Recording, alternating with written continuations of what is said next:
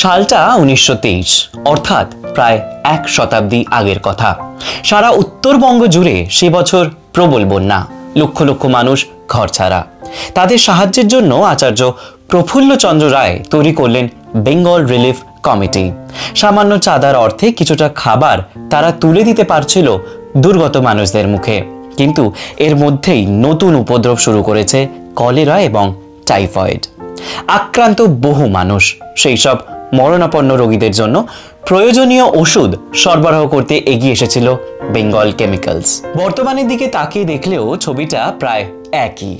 Corona আক্রান্ত মানুষদের সাময়িক চিকিৎসার ব্যবস্থা হিসাবে হঠাৎ চাহিদা বেড়ে গিয়েছে হাইড্রক্সি ক্লোরোকুইন ওষুধটির। বাজারে যখন কাঁচামালের যোগান প্রায় নেই বললেই চলে, তখন এই বিপুল উৎপাদন সম্ভব হবে কি করে? আর সেই পরিকাঠামোই বা কোথায়? এমন পরিস্থিতিতেই এগিয়ে এলো বেঙ্গল কেমিক্যালস। একশো আঠাশ বছর পেরিয়ে আজও দেশের দুর্দিনে সমস্ত দায়িত্ব নিজের কাঁধে তুলে নিতে পারে এই সংস্থা। এই প্রথমবার তো নয়, দীর্ঘ ইতিহাসে বারবার এমন জরুরি পরিস্থিতিতে এগিয়ে এসেছে বেঙ্গল কেমিক্যালস। একটু আমরা পিছিয়ে দেখি, বেঙ্গল কেমিক্যালসের বয়স মাত্র ছ বছর। তখন অবশ্য নাম ছিল বেঙ্গল কেমিক্যাল ওয়ার্ক। তেমন বড় কারখানা কিছুই নেই। সামান্য ল্যাবরেটরিতে গবেষণার কাজ চলে। এর মধ্যে কলকাতায় ছড়িয়ে পড়েছে প্লেগ আক্রান্ত বহু মানুষ। আর প্লেগের হাত থেকে বাঁচার প্রথম শর্ত, ঘর পরিষ্কার এবং কীট পতঙ্গ মুক্ত রাখা। কিন্তু স্যানিটাইজেশনের যাবতীয় যা সরঞ্জাম বিদেশ থেকে আসে। তার দাম যে আকাশ ছোঁয়া, সেবারেও এগিয়ে এসেছিল বেঙ্গল কেমিক্যালস সম্পূর্ণ দেশীয় পদ্ধতিতে তারা তৈরি করেছিল ফিনাইল এবং ন্যাপথলিন বল। শুধু দেশের সাধারণ মানুষ নয়, সরকারের দিকেও সাহায্যের হাত বাড়িয়ে দিয়েছিল এই প্রতিষ্ঠান। সালটা উনিশশো চোদ্দ, তখন প্রথম বিশ্বযুদ্ধ চলছে। যুদ্ধের জন্য কিছু অ্যাসিড এবং রাসায়নিক পদার্থ প্রয়োজন হয় ব্রিটিশ সরকারের। কিন্তু এতদিন এসব দ্রব্যের জন্য নির্ভর করা যেত জার্মানির উপর।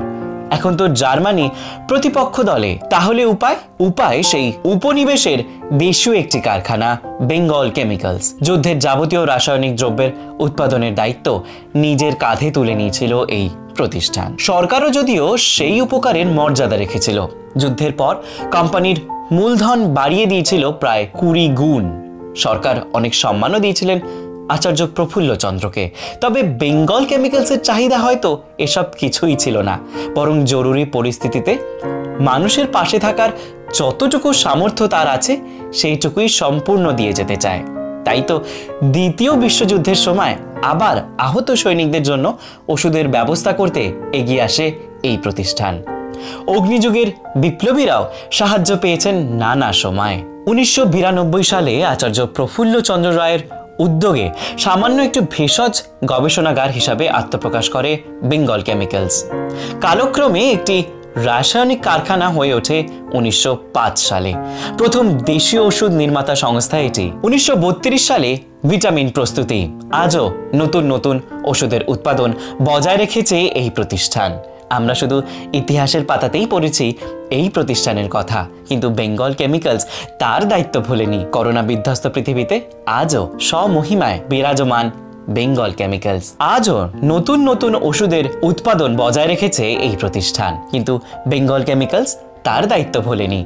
করোনা বিধ্বস্ত পৃথিবীতে আজও মাসিহা Bengal chemicals কুর্নিশ V spot you এর টিমের তরফ থেকে for such exclusive videos to like share and subscribe V Spot U from unknown to known and don't forget to hit the bell button